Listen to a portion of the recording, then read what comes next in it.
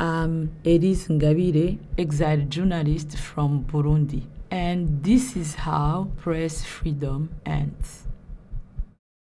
na jewe ndiko ndabayagira ubunyene narafunzwe fise abana batatu umwana muto yari afise amezi ane uko n'ugufungwa tutaravugwa ukwicwa nk'ubu jewe akarorero hariho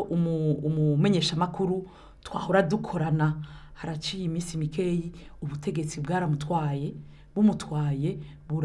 abantu barabonye abamutwaye hanyuma baramwambura ubuzima kuko gushika uno munsi yaba ikinyamakuru iwacu yaba umuryango wiwe nta n'umwe azi iyo irengero ryiwe rero muri ibyo twako turavuga ingaruka mbi z'umwuga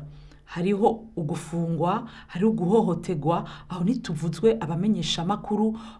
bakubiswe abamenyeshamakuru igihe mu myiyerekano yo mu bihumbi bibiri na cumi na gatanu ndiko ndabona ku nzu yo kumenyesha amakuru abamenyeshamakuru b'abagore bafatwa nk'abantu b'abicanyi babakubita babakwega babakwega mu byondo iyo uri imbere y'ubutegetsi bushaka guhonyanga ubwigenge bw'abamenyeshamakuru ubwigenge bwo gushikiriza ibyiyumviro ahubwo niho buba buguhaye inguvu buba buguhaye inguvu nyinshi isi yose izopfa ntawe uzomenya icyabaye baraduturiye ibimenyeshamakuru byacu barabituriye abamenyeshamakuru barangara barajya mu bihugu bibanyi mu rwanda mugabo aho bari aho abamenyeshamakuru bari hose bagerageza kuguma bakora kugira